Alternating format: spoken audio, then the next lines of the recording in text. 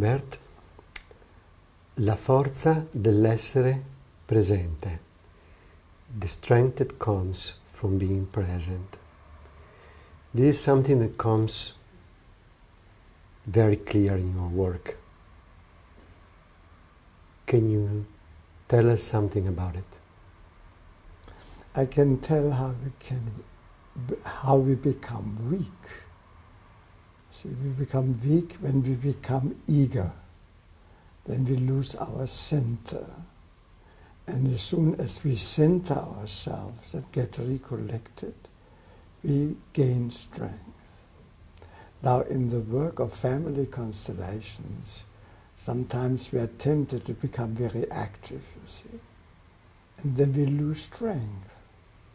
And if we wait and get centered and get in tune with the other, then slowly we become calm and we are ready for the work. And the client also is ready for the work. And then at that moment, we allow in the constellations the movements to develop all by themselves, or mostly by themselves. And they have strength because nobody is interfering from outside. Therefore, strength comes from within and by being in connection with, the, with one's own center. And so, for instance,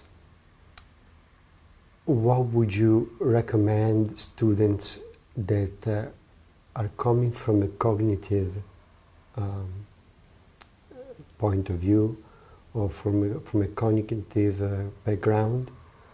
What would you recommend them to do? What are they going to do with their knowledge?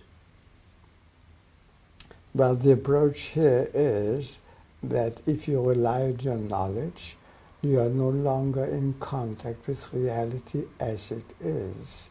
So with your knowledge, you become weak. You gain new knowledge in the presence. Once you allow yourself to expose yourself to what is just in front of you, and suddenly you know what to do, and you also know how to do it with strength.